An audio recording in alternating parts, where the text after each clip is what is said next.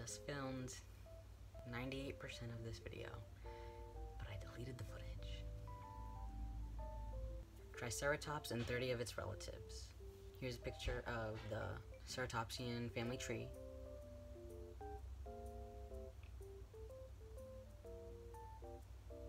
There's a glossary in the description that explains some biological terms.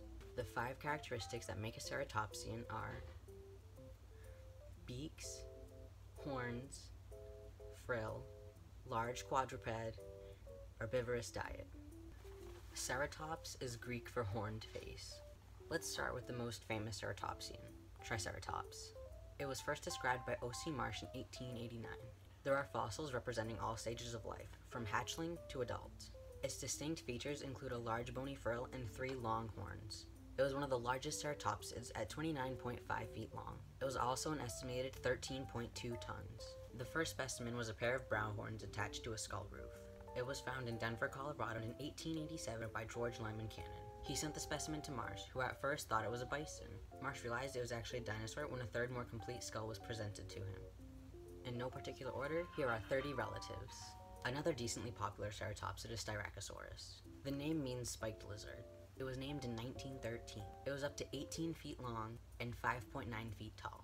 Its distinct features were 4 to 6 long parietal spikes extending from its frill, a small jugal horn on each of its cheeks, and a single horn protruding from its nose, which may have been up to 2 feet long and 6 inches wide. Styracosaurus was up to 18 feet long and 5.9 feet tall. The frill spikes could be up to 22 inches long. The nose horn was estimated to have been about the same. Next is Centrosaurus. They were up to 18 feet long and had a single large horn over its nose. The nose horn curves forward or backwards. Skull ornamentation reduced as they aged. The frill was relatively short compared to the total skull length. They had two large hornlets that hooked over the frill and a pair of small hornlets over the eyes. The frill had small hornlets along the outer edges. The first remains were discovered and named by Lawrence Lambe in 1904. The name means pointed lizard. Protoceratops was about the size of a sheep, 6 feet long and 2 feet tall at the shoulder. The name means first horned face. It was first described in 1923 by Walter W. Granger and W. K. Gregory. It had a large neck frill with a proportionately large skull. These ceratopsians lacked well-developed horns. It had a massive frontal beak. This dinosaur may have inspired some griffin myths. Chasmosaurus was about 15 feet long and weighed about 2 tons. The name means opening lizard, referring to the large openings in the frill. It was first discovered by 1898 by Lawrence Lambe. It was officially named in 1914. It had three main facial horns like most ceratopsids. The horns are quite short and the frill is very elongated. Achelousaurus was first found in 1987 by a team led by Jack Horner. It was about 20 feet long and weighed 3.3 tons. The skull alone was an estimated 5.3 feet long. Their unique characteristics included a nasal bone with bosses on the top, relatively large bosses above the eyes, and a single pair of curved spikes coming from the neck frill. The name means Achelous lizard. In Greek mythology, Achelous was the god associated with the Achelous River, the largest river in Greece. He was also said to be the father of the sirens. Einiosaurus is exclusively found in Montana. It was discovered by Jack Horner in 1985. It was about the size of previously mentioned Achelousaurus, but far less robust. It was an estimated 15 feet long and 1.4 tons. The nasal horn is long and strongly curved forwards. It has a longer base and is rounder in side view. It also had two large spikes sticking out of the neck frill. The name means buffalo lizard, and a combination of Blackfoot Indian and Latinized Greek.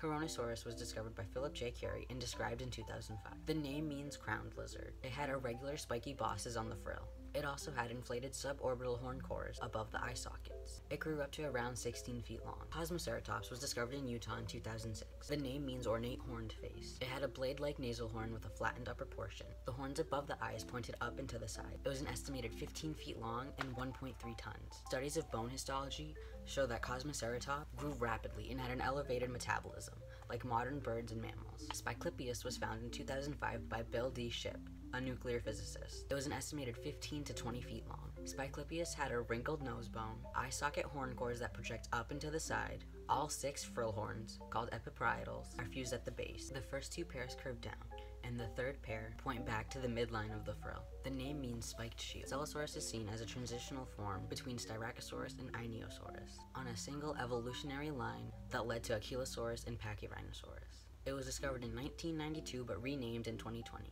The name means star lizard. It's in reference to the shape of the head and in homage to David Bowie's Starman.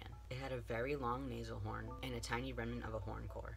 Judiceratops means Judith River horned face. It was found in Montana and named in 2013. It was discovered by Nicholas R. Longrich. The frill or parietal bone had a long midline bar, a rounded caudal margin, and reduced osteoderms. The horns above the eyes, post-orbital, are moderately elongate and inclined forwards and outwards. Wendy Wendiceratops was described in 2015. It was excavated from a bone bed in Alberta, found by Canadian fossil hunter Wendy Sloboda. It was an estimated 20 feet long. On the rear of the neck frill, the second and third epiparietals have a wide base and curve upward and to the front. It also has an erect nose horn. Machairoceratops was first described and named in 2016. The name is derived from Greek meaning bent sword, in reference to the unique frill ornamentations showing two curved horns on the uppermost part of the frill. The holotype was found in 2006 and is housed in the Natural History Museum of Utah. Sinoceratops was found in the Shandong province of China. It was named in 2010, and the name means Chinese horned face. It was around 19 feet long and 6.6 feet tall. It was the first ceratopsid dinosaur discovered in China, and the only known one from Egypt. It is one of the largest known They have at least 10 robust, strongly curved, horn-like processes along the rear of the combined parietals and at least four horn-like processes on the combined squamosals. Medusaceratops was first reported in 1993. The name was coined by Canadian paleontologist Michael J. Ryan in 2003. The name refers to the large, thick, snake-like spikes that extend to the sides of the frill.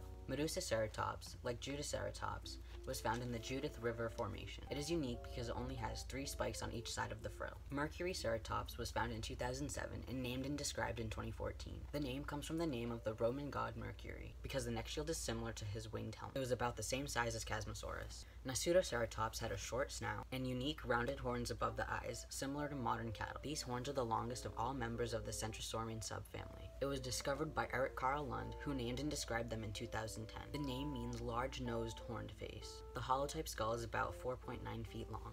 Diabloceratops was named and described in 2010 by James Ian Kirkland and Donald DeBlieux. It was medium-sized and an estimated 18 feet long. The name, a combination of Spanish and Latinized Greek, means devil horned face. The only two specimens were found in 1998 and 2002. The skull is deeper and shorter than any other Centrosaurine. Regaliceratops is closely related to Triceratops. The skull was discovered in 2005 by geologist Peter Hews. It was named for its plated frill, which was thought to resemble a crown. It was named and described in 2015 by Caleb Marshall Brown and Donald Henderson.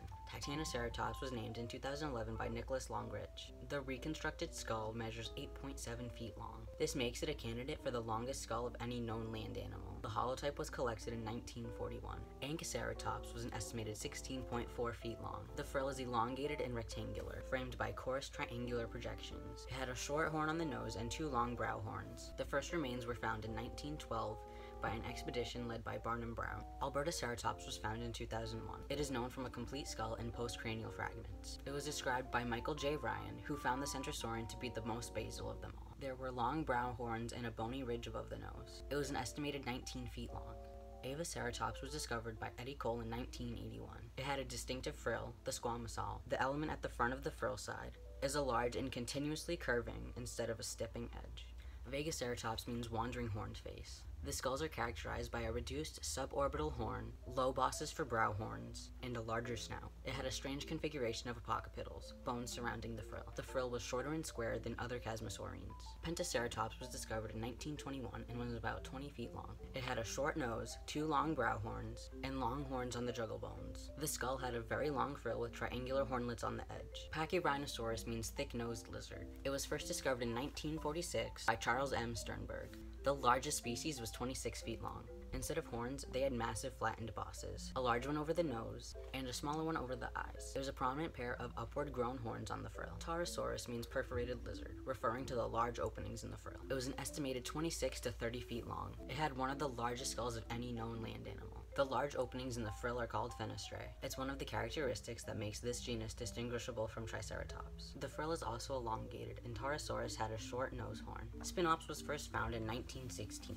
It was described in 2011 when a new species of the same genus was discovered. It had two large spikes at the top of the frill, one above the nose, and two tiny ones above the eyes. Utahceratops was discovered by Mike Getty and named in 2010. They were an estimated 19 to 23 feet long and 6.6 feet tall. The nasal horn core is caudally positioned, the suborbital horn cores are short and robust, and the episquamosals on the mid portion of the lateral frill margin are low and very elongate. Xenoceratops means alien horned face. It was first discovered in 1958 by Wann Langston Jr. and described in 2012. The name is a reference to a lack of ceratopsian species known from the foremost formation. The midline of the frill has no bumps or ornamentations. The two bony projections close to the midline of the frill are thick knobs and have straight spikes next to them. It also had large brow horns. The anterior corners of the parietal have a large anterior knob. This took many, many hours to research, and it's going to take many hours to edit.